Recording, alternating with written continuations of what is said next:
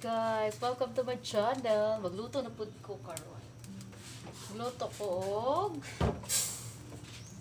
ah, ambot lang siya ni siya basta kay pork. Mag ah, gisa ko og pork belly. Ang gigamit is vegetable oil. Vegetable oil.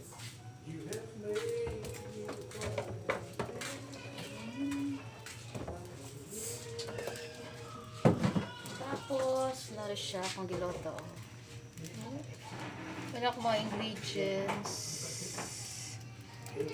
Ah, pork belly with ribs. Tapos, butangan ako og uh, pichay o saging. Then, ang akong Walay ahos anisan? Panakot. San walay ahos san? Ahos. Tagay sa kog ahos be. Ahos ba ahos? Ay, wa may ahos. Di ay tay pasa. Oh. So, mali akong lutoon karon.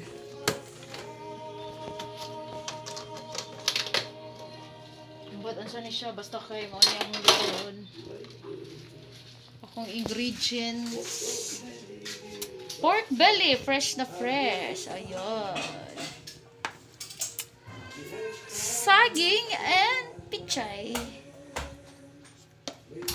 Tumbok. Yan. Okay. Mo siya ang akong lutuon karon nga foods.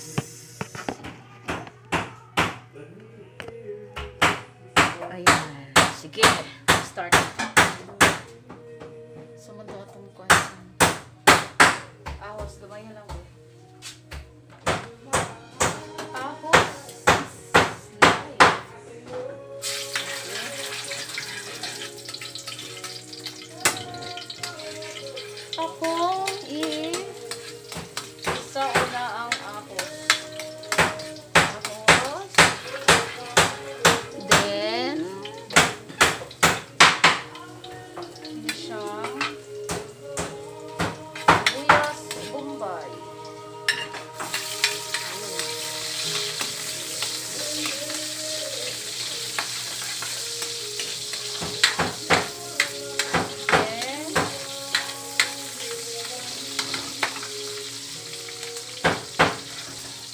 Kamatis.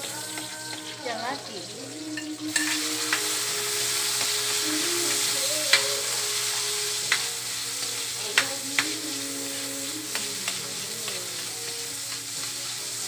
Ini siyang at sal. Dahil ko na ko.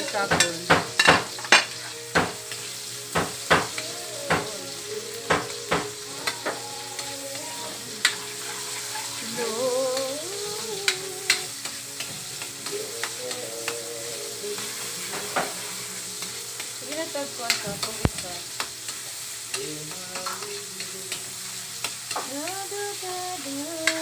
Hello. Magluto ko og paniog ko. Then, next is ang akong pork belly with ribs.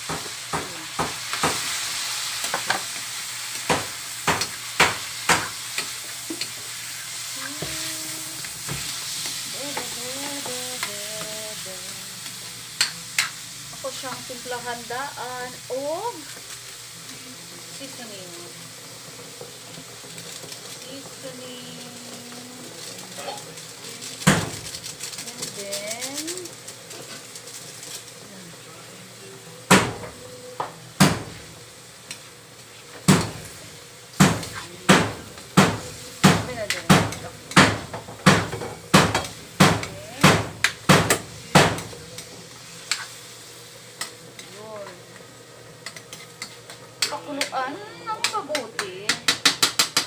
Para lumambot. Ako siya siyang takluban kay aron mahumok. So, mo na siya ang akong iluto karon. Pasa siya. Hindi pa bukala.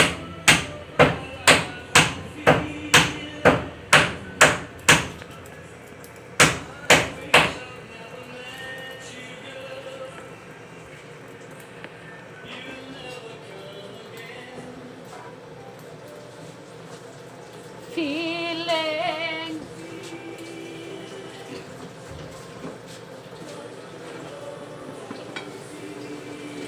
Yun. Yan.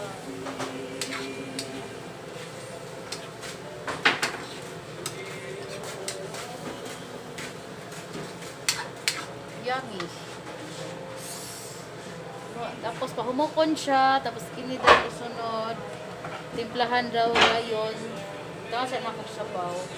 Yan, mo na dayon siya. Ah, medyo wala siya o kutsero. Pero wala nga siya og ingredients para mahimong kutsero. Ate Rose recipe ni siya. Ate Rose version. Batangan ako na siya og tubig para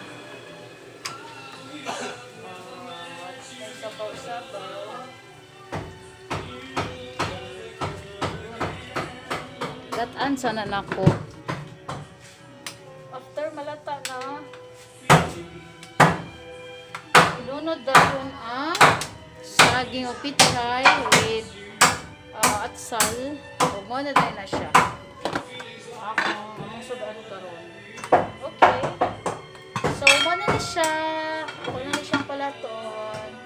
That's it. Bye. Please subscribe my channel. Ate Rose. Please, please, please. Bye. Happy Saturday.